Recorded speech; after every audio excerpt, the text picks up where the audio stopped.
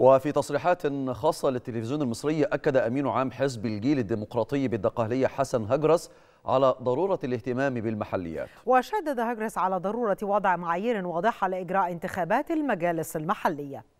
قضية المحليات قضية اللي بينتظرها الشارع المصري بفارغ الصبر وكل السياسيين والقيادات السياسية على المستوى الشعبي والمحلي. إيه، تشغل الرأي العام لما تلمسه من قطاع كبير والمحليات هم هم الاحتكاك المباشر مع الجمهور. يعني القيادات المحلية هي أكبر ناس بتحتك مع الجمهور احتكاك مباشر. فالقضية دي متوقفة من فترة كبيرة منذ فترة كبيرة إيه، المحليات متوقفة ولم يتم العمل بها ولا ولا عمل انتخابات محلية.